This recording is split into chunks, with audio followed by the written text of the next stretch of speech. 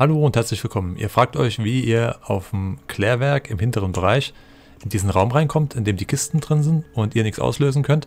Wir verfolgen mal diesen elektrischen Draht und schauen mal, wohin er führt. Und zwar zu diesem Gebäude hier. Hier gehen wir jetzt mal rein. Ihr solltet grundsätzlich euch einen Radanzug anziehen, wenn ihr hier im Klärwerk unterwegs seid, weil es sehr viele radioaktive Gebiete gibt. Hier war schon jemand looten, aber das macht ja nichts. Weil normalerweise werden vier Kistenspots unten, inklusive Waffenkisten, die dort spawnen können. Wir brauchen eine Sicherung, also ihr müsst hierher kommen mit einer Sicherung und ihr braucht eine Blue Card. So, die Sicherung könnt ihr einlegen und könnt sie aktivieren. Jetzt müssen wir uns beeilen. Weil die Sicherung ganz gerne mal rausfliegt.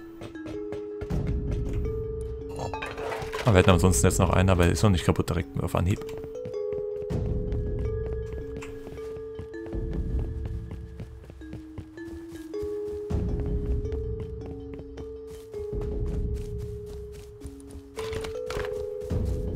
Warum wollen wir in den Raum rein? Weil Kisten zum einen drin sind und weil ihr darin die Red Card finden könnt.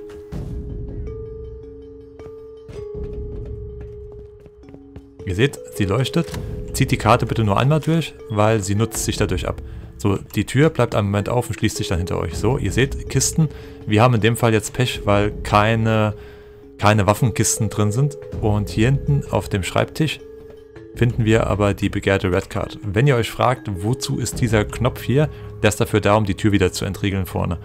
Weil sie ist jetzt gleich zu und ihr könnt sie aktuell nicht öffnen mit dem Drücker.